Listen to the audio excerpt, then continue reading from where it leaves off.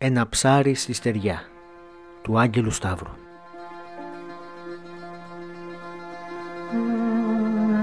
Τα πόδια της είχαν ματώσει. Περπατώντας πάταγε τα αίματα από τα πόδια των άλλων γυναικών που ήταν μπροστά της. Και τα δικά της τα πάταγαν οι επόμενες. Τέσσερις μέρες κουβάλαγε πάνω της το βυζανιάρικό της. Την προηγούμενη μέρα θύλασε και τις ξαδέρφης της Της κακομοίρας της κόπηκε το γάλα από το φόβο. Η ανάσα των Τούρκων ήταν από πίσω τους. Δεν είχαν χρόνο για ξαπόσταμα. Όλες τους ήξεραν τι σήμαινε να τις προλάβουν ή να τους απαντήσουν μπροστά τους. Έπρεπε βουβά να βηματίζουν, τα μικροπαίδια να είναι αμήλυτα και τα βυζανιάρικα να είναι σφιχτά στο στήθος τους ώστε να μην ακουστεί το κλάμα, όπως και το δικό τους. Η δύσμηρη Μαρία έσφιξε τόσο δυνατά το δικό της προχτές που το κλάμα του έγινε σιωπή. Ούτε καιρός, ούτε χώμα να το βάλουν μέσα. Μόνο πέτρες και γκρεμί. Εκείνο το βράδυ έπρεπε να βρουν ένα σημείο να ξαποστάσουν. Βρήκαν ένα πλάτωμα σε ένα ύψος όπου είχαν και αγνάντι. Που και που σήκωναν τα κεφάλια τους μήπως δουν κανένα να έρχεται από κάτω. Ήταν ήσυχο μωρό Αναστάσης. Ήταν μερικών μηνών. Γεννημένο να κυνηγηθεί, σκέφτηκε η μάνα του. Τι ήταν αυτό που μας βρήκε, αναρωτιόταν η Όλγα. Να ζει ο Δονάτος. Είχε μέρες που είχε φύγει στα βουνά. Κάτι χάλασε με τους Τούρκους και θα τους παίρναν όλους για δούλους ακουγόταν. Τις γυναίκες θα τις χρησιμοποιούσαν. Όσες άντεχαν θα τις έπαιρναν μαζί και μετά πάλι τα ίδια. Η μάνα της Όλγας ήταν παραδίπλα. 29 κεφάλια ξεκίνησαν. 28 πλέον, χωρίς το μικρό της Μαρίας. Σκληρές γυναίκες, πιο σκληρές και από τους άντρες τους. Όλοι αρματωμένοι στα βουνά. Τους είχαν στείλει σήμα με τον Παναγί να φύγουν προς τα χάμου και να μην σταματήσουν. Φαινόταν η δουλειά εδώ και μέρες. Ο Πασάς είχε όρεξη. Η Όλγα κοίταξε το μαύρο ουρανό της νύχτας με τα μέτρητα φωτάκια. Οι ψυχές των χριστιανών. Εκεί μας βάζει ο Θεός. Αυτό της είχε πει η μάνα της. Αυτό θα έλεγε και αυτή στον Αστάση αν θα μεγάλωνε. Την πήρε ο ύπνος. Ξύπνησε από το πνιγμένο κλάμα του μωρού της ξαδέρφης της το έσφιξε στα στήθη της ξαπλωμένη και από πάνω χύμιξε και η γειτόνισά τους. Η μέρα ξεκίνησε να φαίνεται πίσω από το βουνό πάνω από το κεφάλι τους. Από κάτω τους ατέλειωτος γκρεμός. Το βυζανιάρικο δεν σταματούσε. Και τότε άκουσε αυτό που φανταζόταν ότι άκουγε πέντε μέρες τώρα. Χλιμιντρίσματα. Τα άκουσαν και οι υπόλοιπες γυναίκες. Τι νοστάλογα να ήταν, των ανδρών τους, των παιδιών τους, των αδερφών τους ή των οχτρών, των φωνιάδων τους, των βιαστών τους. Τα κεφάλια όλα ήταν σκυμμένα κάτω από την κορυφή. Το μικρό δεν σταματούσε να κλαίει. Η Όλγα κοίταξε τον Αστάση της. Μονάκριβε μου γε, ποιο κακορίζικο χέρι θα είναι αυτό που θα σε κλέψει από εμένα; Ποια αλόπιστη θα σε μεγαλώσει και θα τη λες μάνα; Ποια τούρκα θα σε παντρευτεί; Η μάνα της Όλγας σήκωσε σιγά σιγά το κεφάλι προς το μέρος που άκουσαν τα άλογα. Η ταλαιπωρία στα μάτια της έφυγε. Φαίνονταν πως τίποτα δεν είχε σημασία πια. Κατέβασε το κεφάλι και ο ψήθυρος που έβγαλε ακούστηκε σαν ουρλιαχτό. Ήταν η Τούρκη. Το βυζενιάρικο της ξαδέρφης της, λες και το κατάλαβε, άρχισε να κλαίει πιο δυνατά. Όσο κι αν το κάλυπταν τα σώματα των δύο γυναικών, το κλάμα απλωνόταν με αντίλαλο από το ύψωμα. Το επόμενο που άκουσαν οι γυναίκες ήταν το κάλπασμα των αλόγων να ζωηρεύει. Αυτό ήταν. Η Όλγα, σηκώνοντας το κεφάλι, είδε καμιά δεκαπενταριά άλογα με τους άντρες πάνω να ανεβαίνουν προς το μέρος τους. Κοίταξε γύρω και κατάλαβε πως ήταν εγκλωβισμένες. Εάν κάναν να τρέξουν μέχρι να φύγουν από το ύψωμα θα τις προλάβαιναν. Μία-μία άρχισαν να σηκώνονται. Το μικρό σταμάτησε να κλαίει. Ξεκίνησαν τώρα τα μεγαλύτερα. Ο Αναστάσης ακόμα και τώρα πράος. Σε λίγα λεπτά όλα θα τελείωναν, ήταν σίγουρο. Τόσο σίγουρο όπως και το ότι αυτές οι σκληρές γυναίκες δεν θα έσκυβαν το κεφάλι, ούτε θα δίναν τα παιδιά τους. Ούτε τις μήτρες τους για να γεννήσουν κι άλλους σαν και δάφτους. Η μάνα της Όλγας κοίταξε την κόρη της. Όλες οι γυναίκες κοίταξαν η μία την άλλη και ύστερα τα παιδιά τους. Τα άλογα σε λίγο θα ήταν από πίσω τους, μπροστά τους ο γκρεμός. Το κενό ήταν ο παράδεισός τους. Ο θάνατος ο ίδιος ήταν η ελευθερία τους. Η μυστική συμφωνία που χωρίς λόγια υπόθηκε και μόλις τότε συμφωνήθηκε επικυρώθηκε με τη φωνή της μικροκαμωμένης μάνας της Όλγας. Μια φωνή όπου χωρίς υπερβολές ακούγεται μέχρι και σήμερα ανάμεσα από τις πλαγιές του Ζαλόγκου.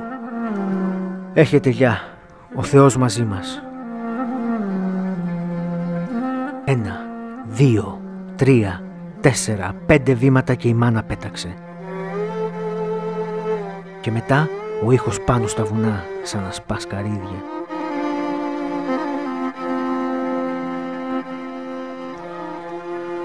Τα μικροπαίδια ούρλιαξαν. Η κάθε μάνα τράβαγε το δικό της. Το έριχνε στον κρεμό με οδύνη στην ψυχή. Τέτοιος πόνος δεν θα ξαναυπάρξει.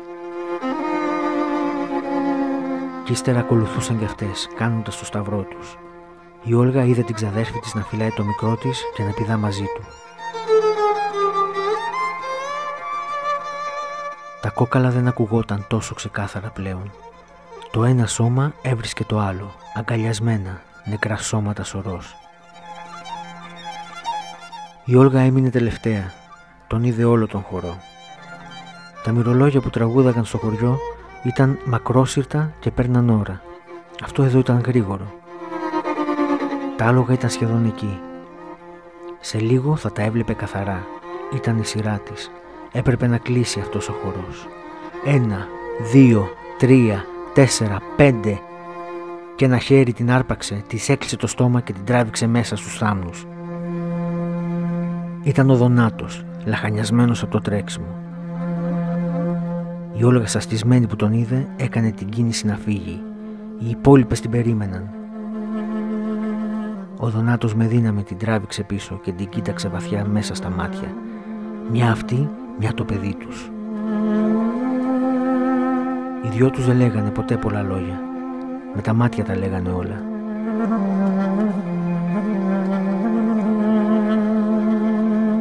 Η Όλγα κούνησε ζαλισμένα το κεφάλι της με ένα μουγκό κλάμα. Έσφιξε τα δόντια και με ένα νόημα ρώτησε γιατί. Γιατί την τράβηξε πίσω. Η μοίρα της ήταν μαζί με τη μάνα της, την ξαδέρφη της και τις άλλες χωριανές τους, εκεί κάτω.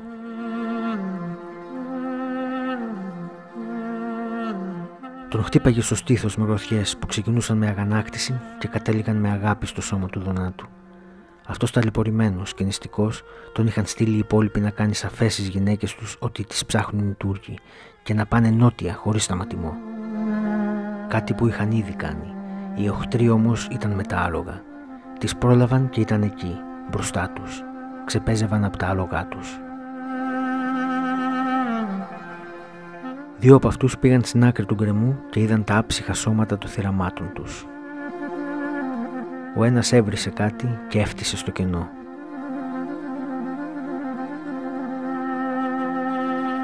Η οικογένεια πίσω από τους θάμνους κρυμμένοι κατάλαβαν τον εκνευρισμό τους. Αυτές οι γυναίκες τους χάλασαν το γλέντι. Ήθελαν τα κορμιά τους και τα παιδιά τους. Τίποτα από όλα αυτά δεν θα έπαιρναν ωστόσο.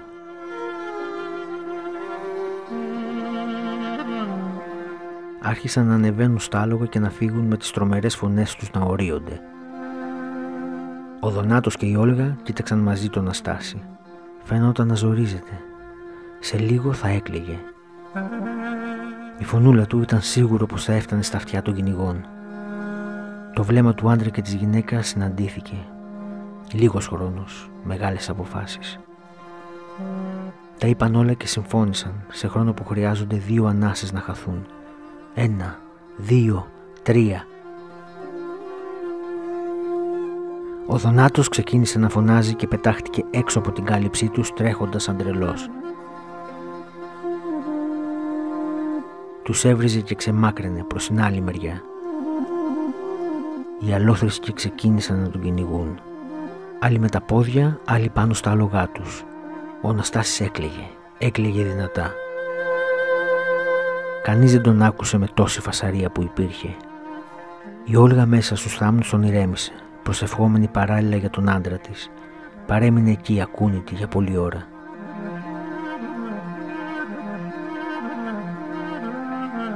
Κάποια στιγμή τα χλιμητρίσματα ακουγόταν πιο έντονα. Επέστρεφαν. Οι καβαλάριδες γέλαγαν. Και τότε είδε αυτό που μάλλον ήδη ήξερε. Το τελευταίο άλογο τραβούσε με μια τριχιά από πίσω του ένα μαύρο από τα αίματα άψυχο σώμα να κοπανάει πάνω στους βράχους και στις πέτρες. Όλα είχαν πάρει άλλη ρότα πια. Η Όλγα ρώταγε το Θεό γιατί;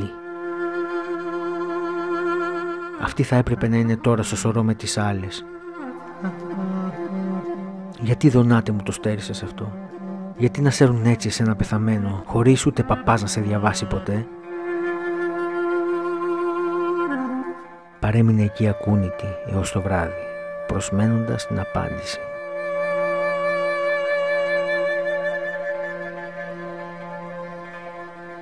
Αυτή η γυναίκα λένε πως δεν είχε μια εύκολη ζωή μέχρι το τέλος της. Ακόμη και μετά, όταν κατάφερε να μπει σε μια βάρκα και να περάσει απέναντι στην κεφαλονιά, η ζωή δεν της χαρίστηκε. Φαντάσου ένα γρήμι γεμάτο πληγές, με ένα μωρό στην αγκαλιά, να κατηγορεί τον εαυτό της που δεν ήταν αυτή η πρώτη να σύρει το χορό πριν από τις άλλες.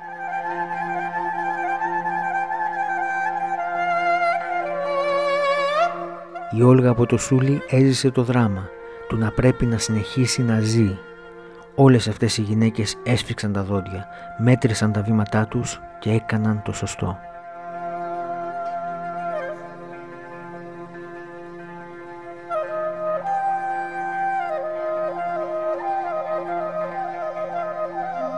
Ένα ψάρι στη στεριά του Άγγελου Σταύρου